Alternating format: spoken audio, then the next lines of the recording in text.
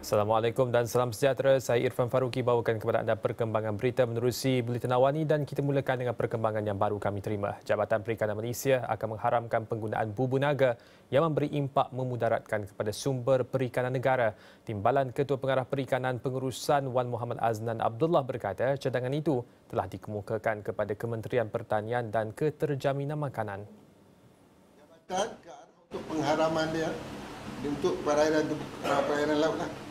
Dia dalam dalam proses akhir lah dalam yang yang menteri dan juga kementerian untuk kita mengharamkan bubu naga untuk penggunaan nelayan di perairan umum. Itu ke arah itu, jabatan ke arah itu. Maknanya dalam proses lah. Dalam proses. Proses akhir dah sekarang.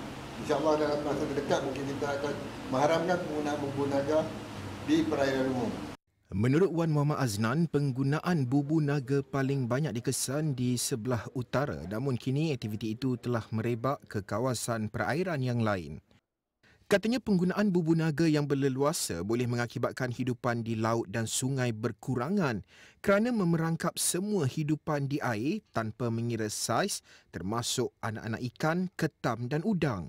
Sekiranya tiada dibantras secara serius, ia dikhawatiri akan menjejaskan keterjaminan makanan negara pada masa akan datang.